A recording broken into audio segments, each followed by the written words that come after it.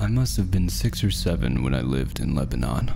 The country was ravaged by war at the time, and murders were common and frequent. I remember during a particularly vicious era when the bombings rarely stopped. I would stay at home sitting in front of my television watching a very, very strange show. It was a kids' show that lasted about 30 minutes and contained strange and sinister images. To this day, I believe it was a thinly veiled attempt on the part of the media to use scare tactics to keep kids in place.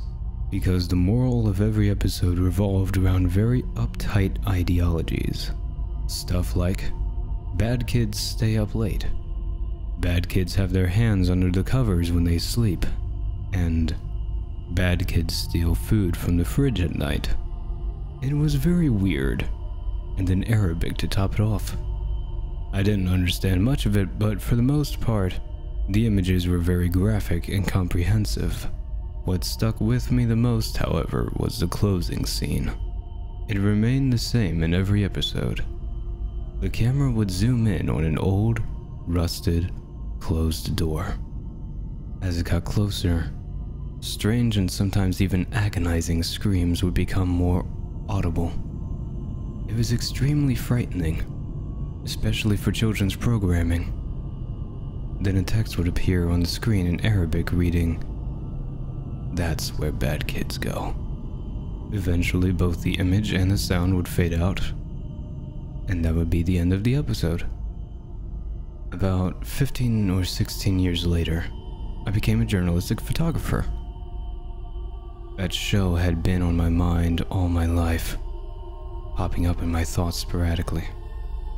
Eventually, I had enough and decided to do some research. I finally managed to uncover the location of the studio where most of that channel's programming had been recorded.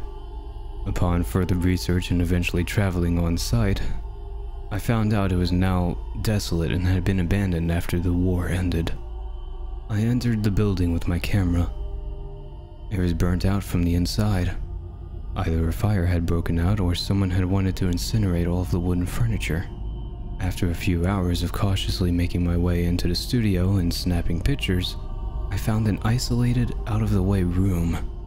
After having to break through a few old locks and managing to break the heavy door open, I remained frozen in the doorway for several long minutes.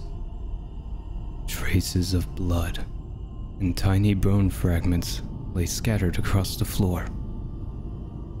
It was a small room and an extremely morbid scene. What truly frightened me, though, what made me turn away and never want to come back, was the bolted, caged microphone hanging from the roof in the middle of the room.